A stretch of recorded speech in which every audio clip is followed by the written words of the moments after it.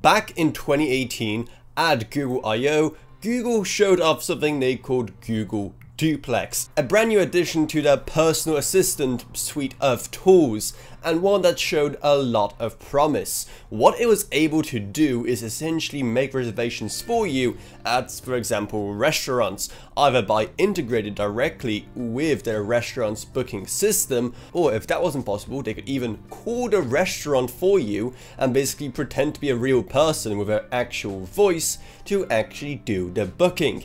And the effect, well, Judge for yourself. So how can I help you? Hi, I'm calling to book a women's haircut for a client. Um, I'm looking for something on May 3rd.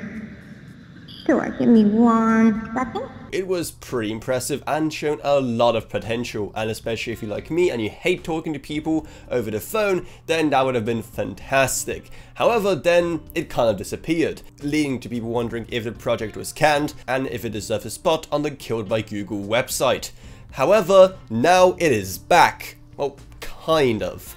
You see, as the big new AI push from Google is happening with the Gemini platform, you can now use similar features with Gemini, with the company integrating much of what Google Duplex was able to do into what is now Gemini and the general Google Assistant set of tools, meaning that soon you'll be able to do all of those things promised back in 2018, but much better given the huge advances in AI done in the last couple of years since the tech was first shown off.